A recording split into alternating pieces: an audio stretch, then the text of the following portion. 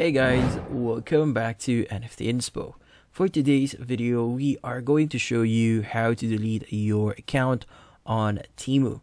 So if you're interested, let's start our tutorial. So Temu is quite similar to Amazon, but sometimes you might get a bad service or in general, you're not happy with your account.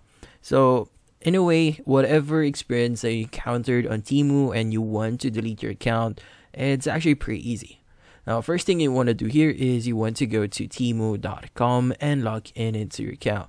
Now, once you've logged in into your account, you first want to locate your profile icon, just located here, and you just want to go to your profile. So just click on your profile.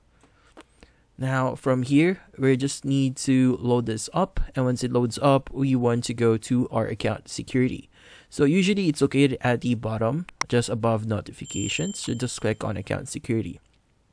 Now here you'll be able to see your email, your password, as well as your mobile phone number, and also the other third-party accounts connected on your Temu.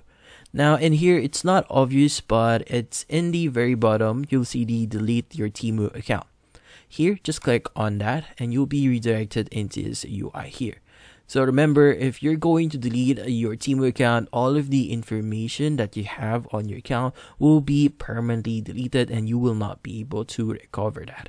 So if you want to proceed with the deletion, just click on the I want to permanently delete and just click on continue and you'll be deleting your account. And that's about it. So hopefully this video was able to help you. Like and subscribe to NFT Inspo. Thank you for watching.